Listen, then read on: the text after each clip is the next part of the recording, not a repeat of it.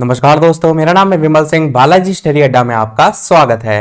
Super TET 2021 के लिए और साथ ही साथ यूपी टेट 2021 के लिए संयुक्त रूप से हम आपको प्रैक्टिस सेट करा रहे हैं, पर जो ये पैटर्न है वो आपका सुपर टेट 2021 का है, जिसके अंतर्गत इससे पहले हमने जो प्रश्न थे 30 प्रश्न बड़ा सामाजिक अध्ययन, बाल मनोविज्ञान, शिक्षण कौशल, वो सभी तीस प्रश्न साइड बाई बटन में पिछला वाला वीडियो, इससे पहले के प्रश्न आपको मिल जाएँगे। आज हम देखेंगे उसके आगे के तीस प्रश्न, जिसमें हम सामान्य ज्ञान और समसामयिक घटनाओं पर आधारित कुल तीस प्रश्न जो है वो देखेंगे। तो चलिए शुरू करते हैं प्रश्न नंबर एक सौ एक से।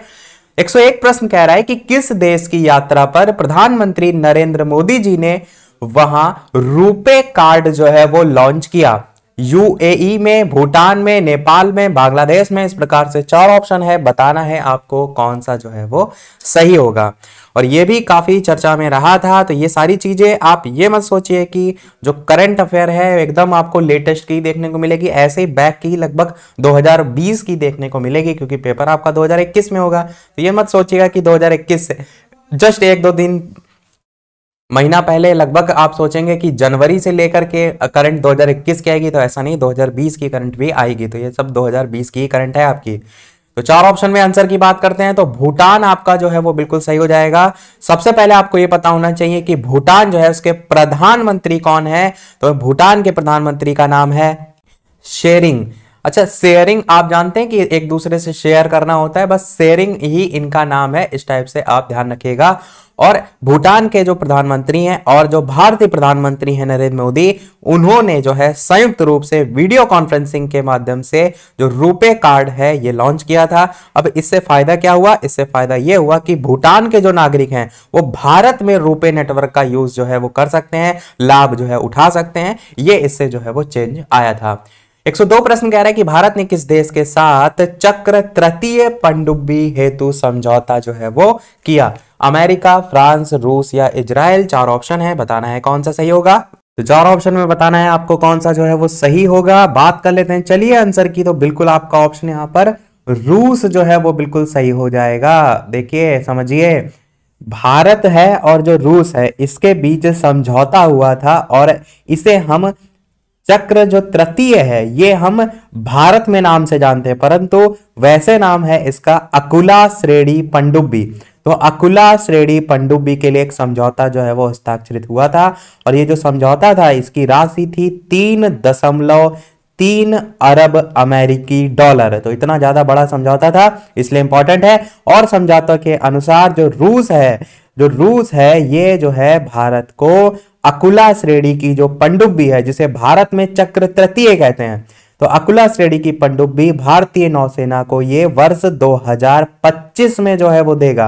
अभी 2020 चल रहा है 21 आने वाला है तो 2025 में जो है ये देगा और भारत में इसे चक्र तृतीय के नाम से जो है वो जाना जाता है। 103 प्रश्न कह रहा है कि विश्व विरासत समिति में कितने जो है वो देश हैं?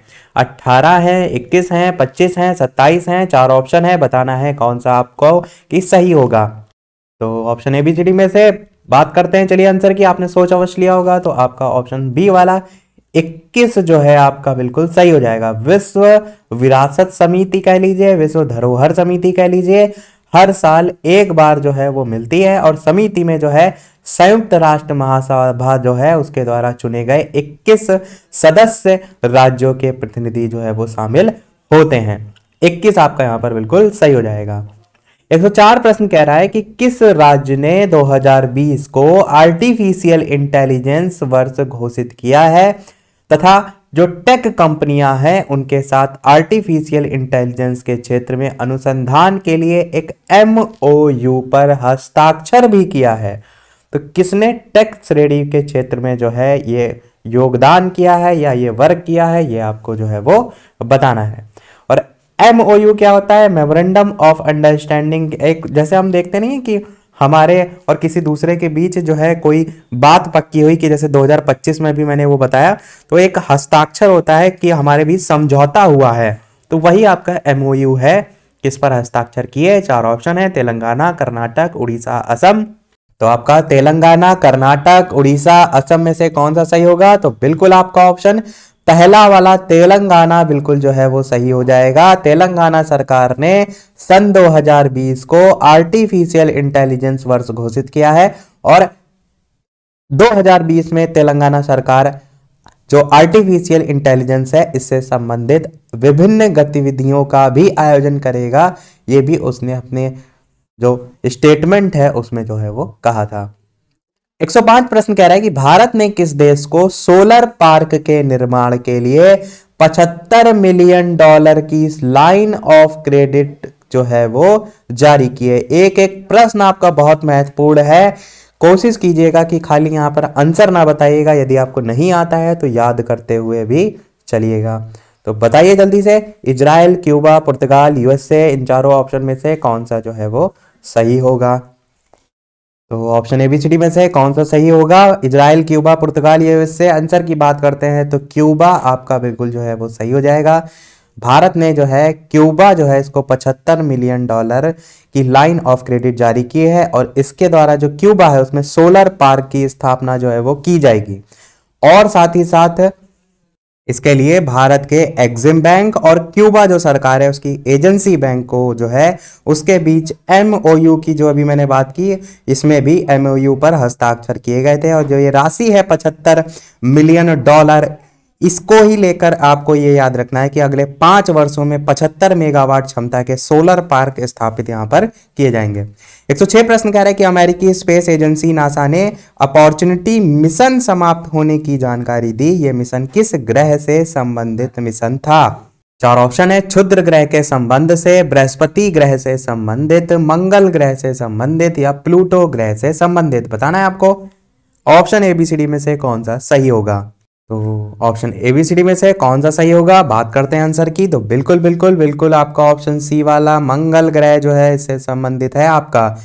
और मंगल पर 2018 की जो ग्रही धूल थी, भरी या धूल भरी जो आंधी चली थी, उसी के कारण जो अपॉर्चुनिटी मिशन है, या इससे 10 जून को संपर्क समाप्त हो गया था और 12 जून 2018 को यह हाइबरनेशन में चला गया था। और ये मिशन जो है, इसीलिए समाप्त होने की जानकारी दी गई थी तो यही आपका ऑप्शन सी वाला जो है वो बिल्कुल सही हो जाएगा। मंगल ग्रह से संबंधित है। अगला प्रश्न 107 देखते हैं कि निर्धन लोगों को निशुल्क चिकित्सा सहायता प्रदान करने के लिए किस राज्य सरकार ने आरोग्य श्रेय योजना जो है वो लॉन्च की है? तेलंगाना ने, उत्तर प्रदेश ने, गुजरात ने, आंध्र प्रदेश ने, चार ऑप्शन है। बताना है आपको कौन सा सही होगा। अच्छा प्रश्न है, पूछा गया है, निर्धन लोगों को निःशुल्क चिकित्सा सहायता प्रदान करने के लिए किसने जो है ये लॉन्च किया है? तो फिर बात करते हैं आंसर की ऑप्शन एबीसीडी में से तेलंगाना, उत्तर प्रदेश, गुजरात या आंध्र प्रदेश में। आपका ऑप्शन डी वाला यहाँ पर आंध्र प्रदेश जो है वो बिल्कुल सही हो जाएगा। आंध्र प्रदेश सरकार ने जो है वो आरोग्य श्रेय योजना जो है वो लॉन्च की है। और इन सभी चीज़ों की आपकी देखेंगे लिमिट कोई है नहीं। आप देखेंगे करंट अफेयर की लिमिट बहुत ज़्यादा है। होती है तो क्या कोशिश किया करिए थोड़ा थोड़ा ट्रिक से चीज़ों को याद करने की कोशिश कीजिए। जैसे कि यहाँ पर देखिए, आंध्र प्रदेश लिखा हुआ है तो आंध्र से आपको थोड़ा सा अंधा याद रखना है कि कोई व्यक्ति यदि अंधा है, उसको नहीं स्पष्ट दिखाई दे रहा है तो क्या होगा वो आरोग्य श्री यानी कि रोग लिखा ना यहाँ पर, देखिए, रोग, यानी कि वो रोग से ग्रस्त है। इस टाइप से थोड़ा सा जोड़िए, आरोग्य और उससे श्री, यानी कि श्रय में किसी की जाने की आवश्यकता है तो इस टाइप से आरोग्य श्री जब भी पूछा जाएगा थोड़ा सा उसे आंध्र प्रदेश से आप जोड़ सकते हैं। 108 प्रश्न कह रहा है कि हिमालय देश नेपाल के पहले उपग्रह नेपाल सेट वन को किस देश से प्रक्षेपित किया गया? भारत, चीन, फ्रांस या अमेरिका, चार ऑप्शन है, बताना है आपको कौन सा सही होगा। और वीडियो पसंद आए तो सभी लोग वीडियो को लाइक अवश्य करते रहिएगा, ताकि इसी प्रकार बेहतरीन से बेहतरीन प्रश्न में आपको और आगे भी प्रैक्टिस कराता रहूँ। और शेयर भी अवश्य करते रहिएगा, और लोग भी जुड़ते रहें, ताकि और ज़्यादा इंटरेस्ट आपका क्रिएट हो। जितने ज़्यादा लोग वीडियो देखते हैं, उतना इंटरेस्ट क्रिएट होगा। लाइव टाइमिंग है, शाम के आठ बजे वीडियो को देखने की तो लाइव आकर भी वीडियो आप देख सकते हैं। तो चलिए बात करते हैं ऑप्शन एबीसीडी में से। यहाँ पर आपको लग रहा होगा कि हिमालय देश समथिंग टाइप से पूछा गया तो भारत सही होगा तो भारत नहीं सही है। अमेरिका आपका जो है वो बिल्कुल सही होगा। नेपाल जो है, इसने अपना पहला उपग्रह जिसका नाम है नेपाली सेट वन, ये आपका अमेरिका से सफलतापूर्वक प्रक्षेपित जो है वो किया था। और इस प्रक्षेपण से लोगों और वैज्ञानिकों के बीच उत्साह भी देखने को मिला था। अगला एक सौ नौ प्रश्न कह रहा है ease of doing business 2020 report में भारत किस स्थान पर है? इस प्रकार की रैंकिंग बहुत पूछी गई थी। सुपर टेट का जो इससे पहले पेपर हुआ था तो आप इसको इंपॉर्टेंट नहीं मोस्ट इंपॉर्टेंट क्वेश्चन मान के चलिए। 63, 100, 53, 83 चार ऑप्शन में बताना है आपको कौन सा सही होगा। ईज ऑफ़ डूइंग बिज़नेस 2020 में या 2020 रिपोर्ट में भारत किस स्थान पर है? तो ऑप्शन एबीसीडी में से कौन सा सही होगा? चलिए बात करते हैं आंसर की। तो आपका ए वाला, आपका ऑप्शन 63 वे बिल्कुल सही होगा। ये आपका जो रिपोर्ट थी, ये कौन से नंबर की रिपोर्ट थी? तो सत्रहवीं रिपोर्ट जो है वो थी। और साथ ही साथ वॉशिंगटन स्थित विश्व बैंक समूह द्वारा इसे जारी किया जाता है। और साथ ही साथ भारत की रैंकिंग 63वें नंबर पे थी। और साथ ही साथ स्कोर जो है वो 71 जो है, भारत को इसमें स्कोर जो है वो प्राप्त हुआ था। और भारत इसी सूचकांक में इससे पहले जो है वो सतहत्तरवें स्थान पर था, जिसे इंप्रूव करते हुए 63वें स्थान पर वो आ गया। ये 71 क्या है? ये 71 नंबर है। जैसे क्या होता है? मैं आपसे कहूँ कि 100 नंबर पूरे डिसाइड किए गए हैं किसी भी चीज़ के लिए, और इसमें अलग अलग आधार पर, जैसे दस नंबर किसी चीज़ के लिए हो गए कि दस नालियाँ वहाँ की कैसी हैं, दस नंबर वहाँ की सड़कें कैसी हैं तो टोटल सौ नंबर में से नंबर दिए जाते हैं, उसके बाद रैंकिंग जो है वो जारी की जाती है। 110 प्रश्न कह रहा है कि कौन सा देश यूरोपीय आयोग 2050 कार्बन न्यूट्रिलिटी समझौते का हिस्सा नहीं है? New Zealand, Poland, Denmark, France, चार ऑप्शन है, बताना है आपको कौन सा जो है वो सही होगा। बात करते हैं आंसर की, कौन सा सही होगा तो बिल्कुल आपका ऑप्शन बी पोलैंड जो है वो बिल्कुल सही होगा। तो कौन सा देश, यूरोपीय आयोग 2050 कार्बन न्यूट्रलिटी समझौते का हिस्सा नहीं है तो पोलैंड नहीं है, यहाँ पर नहीं पूछा गया है। 111 प्रश्न कह रहा है कि कृषि तकनीक के हस्तांतरण के लिए आईसीएआर ने किस संगठन के साथ समझौता किया है? भारतीय स्टेट बैंक के साथ किया है कि यूनियन बैंक के साथ किया है? या कृषि मंत्रालय के साथ किया है या नाबार्ड के साथ किया है, चार ऑप्शन है, बताना है आपको कौन सा जो है वो सही होगा। आई सी ए आर जो है, इसके संदर्भ में आपको इसकी फुल फॉर्म पता होना चाहिए। आई सी ए आर की फुल फॉर्म होती है, Indian Council of Agricultural Research. ये आपका एग्रीकल्चर से संबंधित होता है तो अब आपको समझ में आ गया होगा, ये बैंक आपकी नाबार्ड बैंक जो है ऑप्शन डी वाला जो है, वो बिल्कुल सही हो जाएगा। अब आपको नाबार्ड की भी फुल फॉर्म पता होना चाहिए, क्योंकि नाबार्ड की फुल फॉर्म से ही ऊपर आईसीआर को आप समझ जाएँगे। नाबार्ड की फुल फॉर्म होती है National Bank for Agriculture N A यहाँ से मैं डायरेक्ट शॉर्ट फॉर्म लिख देता हूँ। N A B A R D full form होती है नेशनल एग्रीकल्चर नहीं National Bank for Agriculture and Rural Development ये आपकी फुल फॉर्म होती है और एग्रीकल्चर से संबंधित है, इसलिए मैंने कहा कि आईसीआर की फुल फॉर्म आपको पता होगी तो आप आसानी से और ऑप्शन पे नहीं जाएँगे, यही आपका होगा। कृषि मंत्रालय से ऐसा कोई लेना देना नहीं है डी ऑप्शन सही हो जाएगा। और नाबार्ड की स्थापना कब हुई थी? तो 12 जुलाई 1982 को हुई थी, ये भी ध्यान रखिएगा, पूछा जाता है। चलिए, देखते हैं हमारा अगला प्रश्न 112 प्रश्न कह रहा है कि ट्रज पुल किस राज्य या केंद्र शासित प्रदेश में बनाया जा रहा है? जम्मू कश्मीर में लद्दाख में, चंडीगढ़ में या हिमाचल प्रदेश में। बताना है आपको option A B C D में से कौन सा जो है वो सही होगा। तो आपका ऑप्शन जम्मू कश्मीर, लद्दाख, चंडीगढ़, हिमाचल प्रदेश में कौन सा सही होगा? आपका ऑप्शन पहला वाला जम्मू कश्मीर जो है आपका बिल्कुल सही हो जाएगा। अगला प्रश्न देखते हैं एक सौ तेरह की चागोस द्वीप समूह हाल ही में क्यों चर्चा में रहा? इस द्वीप को लेकर किन दो देशों के मध्य विवाद जो है वो चल रहा है? ब्रिटेन और फ्रांस के बीच चल रहा है, या फ्रांस और मॉरिशस के बीच चल रहा है, या ब्रिटेन तथा मॉरिशस के बीच चल रहा है, या ब्रिटेन तथा स्पेन के बीच चल रहा है। तो चलिए बात करते हैं फिर आंसर की option A, B, C, D में से कौन सा सही होगा। तो सी वाला आपका ऑप्शन ब्रिटेन तथा मॉरिशस जो है आपका सही हो जाएगा। इस प्रकार की अंतर्राष्ट्रीय करंट अफेयर भी आपको देखने को जो है वो मिलती है तो ध्यान रखिएगा।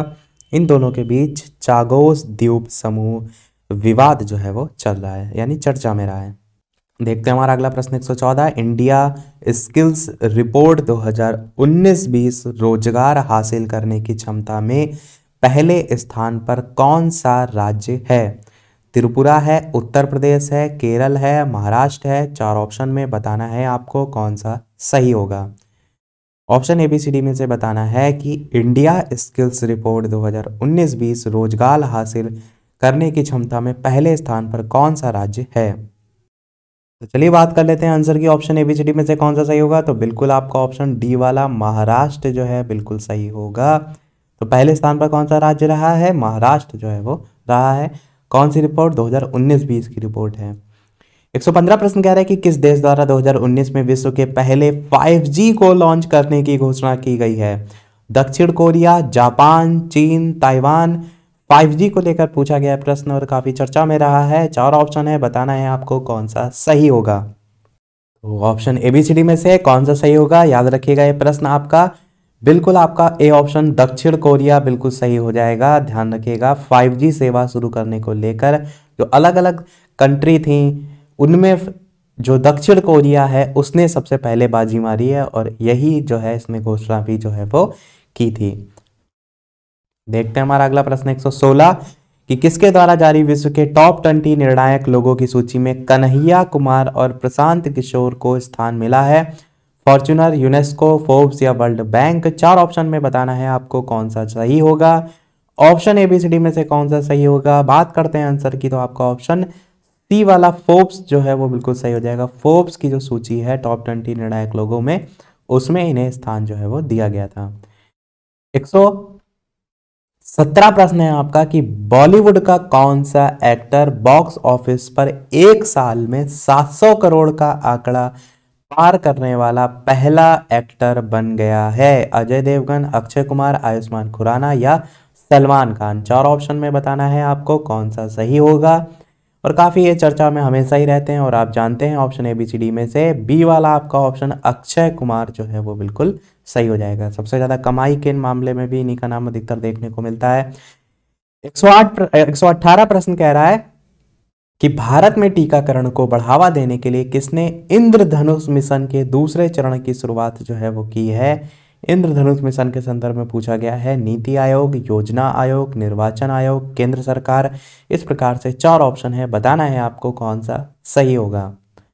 तो चलिए बात करते हैं आंसर की ऑप्शन एबीसीडी में से कौन सा सही होगा। तो बिल्कुल आपका डी वाला ऑप्शन, केंद्र सरकार, बिल्कुल सही हो जाएगा। तो टीकाकरण को बढ़ावा देने के लिए जो इंद्रधनुष मिशन है, इसके दूसरे चरण की शुरुआत केंद्र सरकार ने जो है वो की है। टीकाकरण से संबंधित है आपका इंद्रधनुष मिशन। 119 प्रश्न कह रहा है कि दक्षिण एशियाई जो साहित्य है, उसके लिए किसे 2019 के डीएससी पुरस्कार जो है, उसे सम्मानित किया गया है। अमिताभ बागची, अमिताभ भट्टाचार्य, अमिताभ बच्चन, अमिताभ वर्मा, चार ऑप्शन है।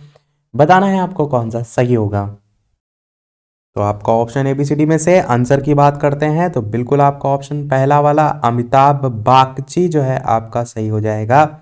अमिताभ बागची जो है, इनको दक्षिण एशियाई साहित्य जो है, इसके लिए 2019 का डीएससी पुरस्कार जो है वो प्रदान किया गया है। और जो बागची हैं, इनको ये जो पुरस्कार मिला है, इनका उपन्यास था, जिसका नाम था half the night is gone. Half the night is gone के लिए इन्हें यह पुरस्कार दिया गया। 120 प्रश्न कह रहा है, किसने देश के सबसे भव्य पार्क भारत वंदना पार्क का शिलान्यास किया? यह भी आपका बहुत ही इंपॉर्टेंट क्वेश्चन है, चार ऑप्शन है। जल्दी से बताइए कौन सा सही होगा। अरविंद केजरीवाल ने किया, नरेंद्र मोदी जी ने किया, अमित शाह ने किया, पीयूष गोयल ने किया। बताना है आपको ऑप्शन एबीसीडी में से कौन सा सही होगा। तो बात करते हैं, चलिए आंसर की ऑप्शन एबीसीडी में। सबसे पहले ये भी समझिए कि भारत वंदना पार्क कहाँ पर शिलान्यास किया गया था? है कहाँ? तो आप कहेंगे दिल्ली में है।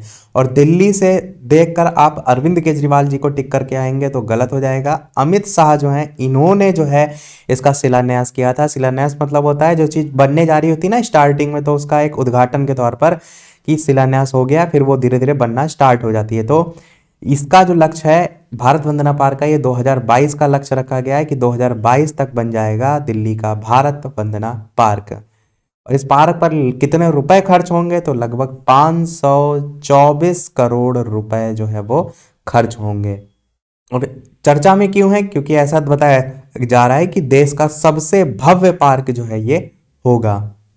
देखते हैं हमारा अगला प्रश्न एक सौ इक्कीस। भारतीय टीम का कौन सा गेंदबाज अंतरराष्ट्रीय क्रिकेट में दो हैट्रिक लेने वाला पहला भारतीय गेंदबाज बन गया है? चार ऑप्शन है, मोहम्मद समी, कुलदीप यादव, दीपक चाहर, जसप्रीत बुमराह। बताना है आपको ऑप्शन एबीसीडी में से कौन सा सही होगा। तो चलिए बात कर लेते हैं आंसर की ऑप्शन एबीसीडी में से कौन सा सही होगा। तो बिल्कुल बिल्कुल आपका ऑप्शन बी वाला कुलदीप यादव सही हो जाएगा। ये जो है इंटरनेशनल या अंतरराष्ट्रीय क्रिकेट में दो हैट्रिक जो है वो लेने वाले पहले गेंदबाज जो है वो बन गए हैं। इन्होंने 2019 में विशाखापत्तनम में वेस्ट इंडीज के खिलाफ हैट्रिक बनाई थी और भारतीय पूछा जाए जिन्होंने हैट्रिक लगाई थी, यहाँ पर तो दो हैट्रिक पूछा गया तो चेतन शर्मा थे, पहले भारतीय जिन्होंने 31 अक्टूबर उन्नीस सौ 1987 जो है, इसको वनडे में भारत की ओर से विकेटों की हैट्रिक जो है वो ली थी। देखते हैं हमारा अगला प्रश्न। अच्छा इसमें भी अलग अलग तरीके से प्रश्न पूछा जाता है। जैसे अंतरराष्ट्रीय क्रिकेट पूछा गया अब टेस्ट क्रिकेट पूछा जाता तो हरभजन सिंह का नाम आता है, जिन्होंने सन 2001 में टेस्ट क्रिकेट में भारत की ओर से विकेटों की हैट्रिक लगाई थी। पहले भारतीय थे। यहाँ पर तो दो हैट्रिक पूछा गया, पर यह भी प्रश्न में ध्यान रखिएगा कि अंतर्राष्ट्रीय पूछा जा रहा है टेस्ट मैच पूछा जा रहा है, इस टाइप से। 122 प्रश्न कह रहा है कि प्रकृति में बड़े बड़े बदलाव करने के लिए सर डेविड एटनब्रो का चयन वर्ष 2019 के किस पुरस्कार के लिए किया गया है? जवाहरलाल नेहरू पुरस्कार, इंदिरा गांधी शांति पुरस्कार, महात्मा गांधी पुरस्कार या राजीव गांधी पुरस्कार? देखिए, प्रश्न में तो चयन पूछा गया है, परंतु इन्हें अभी हाल ही में सितंबर 2020 में ये पुरस्कार दे भी दिया गया है। सितंबर में तारीख आपकी लगभग 9 सितंबर थी तो इन्हें ये पुरस्कार इस तारीख को दे भी दिया गया है। अब आंसर की बात करते हैं तो आपका ऑप्शन बी, इंदिरा गांधी शांति पुरस्कार हो जाएगा। इंदिरा गांधी शांति पुरस्कार जो है, सर डेविड एटनब्रो जो है, इनका नाम ध्यान रखिएगा। इनको जो है वो दिया गया है। और ये जो हैं, जो डेविड जी हैं, इन्हें नेचुरल हिस्ट्री यूनिट को लिखने और प्रस्तुत करने के लिए भी बहुत फ़ेमस हैं, जाना जाता है उसके लिए। पुरस्कार की बात करें, इंदिरा गांधी जो शांति पुरस्कार है, इसकी तो ये शांति, निरस्त्रीकरण और विकास के लिए प्रदान किया जाता है और इसका नाम पूर्व प्रधानमंत्री जो इंदिरा गांधी जी थी, उनके नाम पर जो है वो रखा गया है। और इसे इंदिरा गांधी मेमोरियल जो ट्रस्ट है, उसके द्वारा 1986 से हर साल जो है वो प्रदान किया जा रहा है। इसमें रुपए कितने मिलते हैं? तो 25 लाख रुपए जो है इसमें पुरस्कार जो है वो की जो धनराशि है वो दी जाती है। 123 प्रश्न है। 2019 में आईएफएफआई पुरस्कार की स्वर्ण जयंती का प्रतीक किसे माना जाना है? अमिताभ बच्चन, फरहान अख्तर, ममूटी, रजनीकांत, चार ऑप्शन बताना है आपको कौन सा सही होगा। तो चलिए बात कर लेते हैं आंसर की।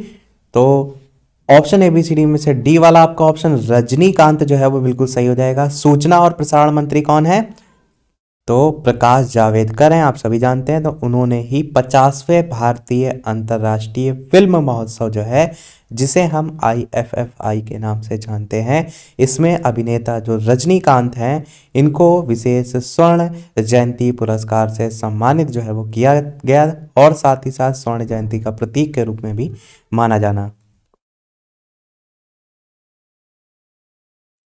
अगला प्रश्न आपका है कि पांचवा भारतीय अंतर्राष्ट्रीय विज्ञान महोत्सव I I F S F कहाँ जो है वो आयोजित किया गया था? नई दिल्ली, चेन्नई, कोलकाता या मुंबई? चार ऑप्शन है, बताना है आपको कौन सा सही होगा। बात करते हैं आंसर की तो आपका ऑप्शन सी, कोलकाता जो है वो बिल्कुल सही हो जाएगा। 126 प्रश्न आपका देखते हैं। हमने इससे पहले जो प्रश्न देखा, वो 124 देखा तो 125 प्रश्न देखते हैं कि भारतीय किसान उर्वरक सहकारी लिमिटेड, इफको जो है उसका अध्यक्ष कौन है? चार ऑप्शन में आपको छाटना है। इफको जो है, इसका अध्यक्ष जो है, वो कौन है? बात करते हैं आंसर की ऑप्शन एबीसीडी में से तो सी वाला आपका ऑप्शन बी एस नकाई जो है, यही जो है आपका सही हो जाएगा। पर एक चीज़ यहाँ पर ध्यान दीजिए, जो बी है और यहाँ पर जो एस लिखा है, ये शॉर्ट फॉर्म लिखा हुआ है। इनका पूरा नाम है बलविंदर सिंह नकाई। समझे आप? बलविंदर सिंह नकाई, बलविंदर सिंह नकाई, ये इनका पूरा नाम है। तो छब्बीस प्रश्न कह रहा है कि दी फॉर फ़ील्ड पुस्तक के लेखक जो हैं वो कौन है? अश्विन सांगी हैं, माधुरी विजय हैं, प्रीति रोनाय हैं या अनीता देसाई हैं? इस प्रकार से चार ऑप्शन है। बताना है आपको कौन सा सही होगा। इजी सा प्रश्न है, द फॉर फ़ील्ड पुस्तक यदि आपने पढ़ी है तो आप कह देंगे स्पष्ट तौर पर माधुरी विजय जो है इसके लेखक हैं। 127 प्रश्न आपका कह रहा है कि माधवपुर मेला डैश में मनाया जाता है। असम में, मणिपुर में, गुजरात में, राजस्थान में ऑप्शन एबीसीडी में, चार ऑप्शन में बताना है आपको कौन सा सही होगा कि माधवपुर मेला कहाँ मनाया जाता है। तो चलिए बात करते हैं फिर आंसर की ऑप्शन एबीसीडी में से कौन सा सही होगा। तो आप क्या कहेंगे, गुजरात आपका बिल्कुल सही हो जाएगा। और कब मनाया गया? तो अप्रैल माह में आपका 2020 में इसे प्रस्तावित किया गया था मनाने के लिए।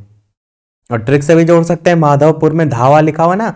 धावा मतलब होता है किसी पर आक्रमण बोलना। आपने देखा होगा बहुत सी मूवी और इस टाइप के जो सीरियल लगाते हैं, उसमें जब युद्ध होता है तो कहते हैं, धावा इस टाइप से। तो माधवपुर में जो धावा आ रहा है, उससे आप समझिए कि जब किसी पर धावा बोला जा रहा है, आक्रमण बोला जा रहा है तो वो व्यक्ति गुजर जाता है। गुजरात गुजरात में देखिए लिखा ना गुजर तो थोड़ा सा ऐसे जोड़ के याद रखिए, गुजरात आपको याद रहेगा, माधवपुर मेला। 128 प्रश्न कह रहा है कि कर्मोदय ग्रंथ जो है, इसके लेखक कौन है? अमित शाह है, राजनाथ सिंह है, निर्मला सीतारमण है या पीयूष गोयल है? चार ऑप्शन में बताना है आपको कौन सा जो है, वो सही होगा। कर्मोदय ग्रंथ के लेखक। तो चलिए बात करते हैं फिर आंसर की। ऑप्शन एबीसीडी में से कौन सा सही होगा? तो बिल्कुल आपका ऑप्शन ए वाला ही अमित शाह जो है वो बिल्कुल सही हो जाएगा। जनवरी 2020 में इसके बारे में चर्चा हुई थी। अमित शाह जो हैं, इन्होंने कर्मोदय ग्रंथ जो है एक पुस्तक थी, इसका विमोचन जो है वो किया था। और इन्होंने अपनी पुस्तक में अमित शाह जो है, उन्होंने प्रधानमंत्री श्री नरेंद्र मोदी जी के जीवन को भी साझा जो है वो किया है। देखते हैं हमारा अगला और इस वीडियो का लास्ट प्रश्न, और इसके बाद एक प्रश्न हम आपसे भी पूछेंगे। वीडियो अभी तक आपने लाइक ना किया इतने अच्छे अच्छे प्रश्न हम आपको प्रैक्टिस करा रहे हैं तो एक लाइक तो आपका वीडियो पर बनता ही है, ताकि आपके एक लाइक से मुझे भी मोटिवेशन मिलता रहे इसी प्रकार, और अच्छे अच्छे प्रश्न में आपको आगे भी प्रैक्टिस कराता रहूँ। चैनल पर नए हो तो सब्सक्राइब करके भी अवश्य जुड़ जाइएगा, और साथ ही साथ जो सब्सक्राइब के बगल में नोटिफिकेशन वेल है, उसको ऑन अवश्य कर लीजिएगा, तभी ताकि सारे जो नोटिफिकेशन है, नए वीडियो को आपको मिलते रहें। शेयर भी वीडियो को और लोगों को व्हाट्सएप फेसबुक जहाँ भी आप शेयर कर सकते हैं, कर दीजिएगा ताकि और लोग भी प्रैक्टिस कर सकें। टेलीग्राम चैनल से नहीं जुड़े हैं तो आपको वीडियो के डिस्क्रिप्शन में लिंक मिल जाएगी। डायरेक्ट भी बालाजी स्टडी अड्डा सर्च करके आप टेलीग्राम चैनल पर जुड़ सकते हैं। सात हज़ार प्लस लोग वहाँ पर जुड़े हुए हैं और लोग भी वहाँ जुड़ेंगे तो सारी नोटिफिकेशन पीडीएफ सारी चीज़ें वहाँ पर उनको मिल जाएँगी। एक प्रश्न देखते हैं। खेलो इंडिया यूनिवर्सिटी गेम्स जो है, इसका कौन सा संस्करण 22 फरवरी से 1 मार्च 2020 तक आयोजित किया जाएगा नहीं किया गया आप कहेंगे। क्योंकि पहला, दूसरा, तीसरा या चौथा चार ऑप्शन है, बताना है कौन सा सही होगा। तो ऑप्शन एबीसीडी में से बात करते हैं आंसर की तो ये आपका पहला ही संस्करण था। पहली बार आयोजित हो रहा था खेलो इंडिया यूनिवर्सिटी गेम, इसका जो शुभारंभ था, वो पीएम नरेंद्र मोदी जी जो है, उन्होंने जो है वीडियो कॉन्फ्रेंसिंग के ज़रिए जो है वो किया था। और भारतीय खेलों के लिए ऐतिहासिक और क्रांति लाने वाला इसमें जो है, इसे बताया गया था। तो आपका ऑप्शन पहला सही हो जाएगा, याद रखिएगा। तो सभी प्रश्न हमारे समाप्त हुए। अब एक प्रश्न आपके लिए भी, जैसा कि सभी वीडियो में हम आपसे एक ना एक प्रश्न पूछते हैं। तो इस वीडियो का आपके लिए प्रश्न है, जिसका आंसर आपको वीडियो के मेन कमेंट में बताना है। प्रश्न आपका क्या है? कि पत्रकार दिवस जो है, इसको किसकी याद में मनाया जाता है? मदन मोहन मालवीय, लाला लाजपत राय, बाल गंगाधर तिलक या Bal Shastri Jambhekar option A, B, C, D में से कौन सा सही होगा अपना आंसर वीडियो के मेन कमेंट में टाइप करके अवश्य बताइएगा। तो देखते हैं कितने लोग जो है इसका आंसर सही बताते हैं। 130 नंबर का ए बी सी डी में से कौन सा सही होगा? इसी के साथ हमारे आज के सभी प्रश्न समाप्त होते हैं। आशा करते हैं वीडियो आपको पसंद आया होगा। तो 30 में से आपके कितने प्रश्न सही रहे, अपना स्कोर भी वीडियो के मेन कमेंट में अवश्य बताइएगा। तो आज के में इतना ही। वीडियो पसंद आया हो तो लाइक अवश्य कीजिएगा। चैनल पर नए हो, सब्सक्राइब ज़रूर कीजिएगा। मिलते हैं फिर अगले वीडियो में एक नए टॉपिक के साथ, एक नए प्रैक्टिस सेट के साथ, कुछ नए प्रश्नों के साथ। अब तक के नमस्कार। Thank you for watching.